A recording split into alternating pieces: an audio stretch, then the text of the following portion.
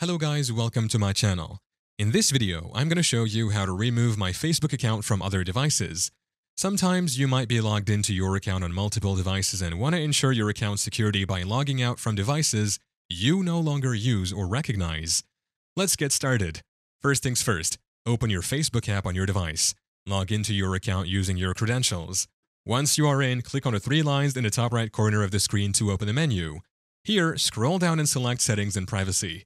Under Settings and Privacy, tap on Settings. In the Settings menu, tap on See More in the Account Center. In the Account Center, find and click on Password and Security.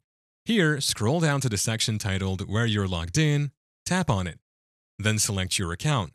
Here, you'll see a list of devices where your Facebook account is currently logged in. To select a device, tap on the Select Devices to Log Out button at the bottom. Review the list and identify the devices you want to log out from. Now click on it to log out from that specific device. You can also choose Select All at the top right of the list to log out from your account on all devices at once. Once you've selected your devices, tap on the Logout button at the bottom. Facebook may ask you to confirm your action for security purposes, confirm the logout action. And that's it, you've successfully removed your Facebook account from other devices. Thank you for watching. If this video was helpful, please leave a like and subscribe to my channel for more videos like this. And click on that notification bell to never miss an update.